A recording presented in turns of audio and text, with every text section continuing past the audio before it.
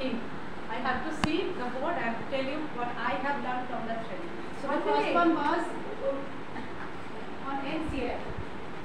Um, and uh, we have done a lot of work on NCF, I think we all have done. So National Curriculum Framework, uh, it is a guiding document that outlines the goals, principles and objectives to transform the education system. Uh, whatever I have heard from there only, uh, I wrote it. And that's it, it provides a roadmap for curriculum development because uh, we are teachers and we are making the curriculum to help, to uh, help the education system. So that's why we have to remember all the things. And uh, not only that, quietly teaching me methodologies are also needed and assessment practices.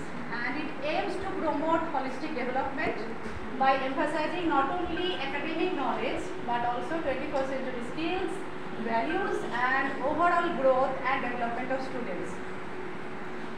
And it also emphasizes inclusivity and equity in schools, uh, considering the gender issues and uh, all other things, class issues, ensuring that the quality education is accessible to all learners, catering to their diverse needs.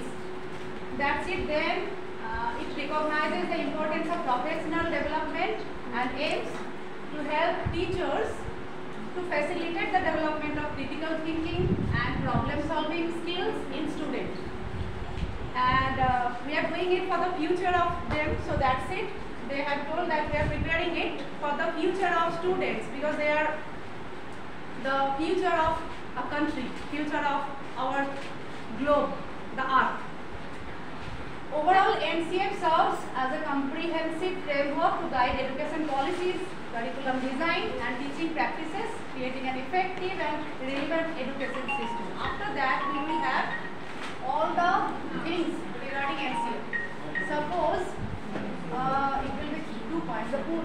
of NCF. That is curriculum, the first one, it is the entity of the organization and next one is curriculum framework that guides the development of the curriculum and NCF AC. It is also uh, designed, it aims to achieve the actual change in uh, the practices of a school.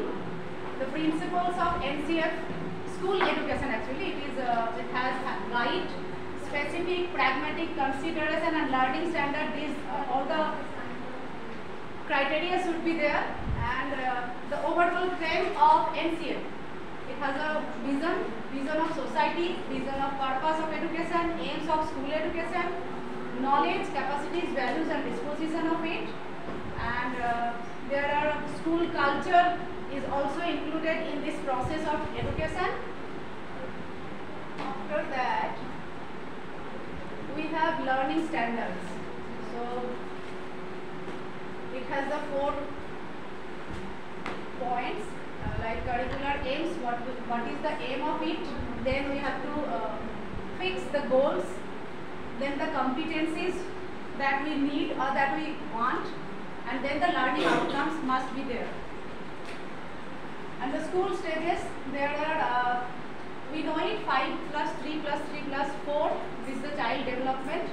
Then we have to think about their uh, physical, cognition, language, socio-emotional and moral development and the development of concepts in curricular areas and requirement of capacities and the implications of it. And I know that it is very much boring because uh, the terms are known to all of us and I am just reading it so it makes you bored but still I cannot do it anything else. Uh, then I have just heard the things and delivering it to you. That's it. Because all are known to us.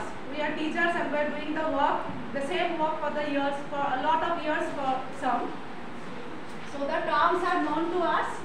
Uh, foundational stage, illustrations of pedagogical practices or sensorial activities. We know the foundational stage, it needs the sensorial activities most. And uh, the second is nature of knowledge, which is verifiable by evidence. Then the school culture, it is, it is very important. We have to think about values, norms and beliefs which form the school culture. And then behavior, relationships and practices in which this culture is manifested and experience. It is also a very um, much important thing for us because we are dealing with the things which are going on nowadays uh, in between the students, in between the school campus. So that's why we have to create an atmosphere or the school culture should be like that so that we can be uh, proud of our school and proud of the atmosphere we are creating. We have to make the ambience like that so that we can develop the moral values of the students. And that is the only way to create a proper nation, to create humanity in the art. Now we are going for school culture, master the following characteristics. That is lifelong learning, the main thing. A nurturing environment, academic support and a positive relationship. That, that's what we are lacking now.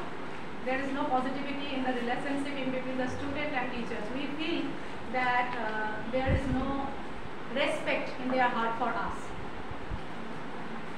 Then uh, traditions we have to follow. We have uh, very enriched tradition.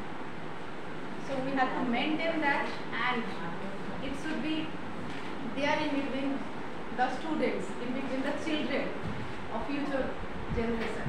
And the last one is effectively engage student and staff. That, that, that's what needed for that one, uh, positive relationship. Oh, that's it for the first one. I did it on online. So it was very pathetic for me to have all the information, but still I have tried to gather all the information that, that I have to. That is the first one. This is not the last one. I have one more. Okay, uh, it was on learning outcomes and pedagogies, and uh,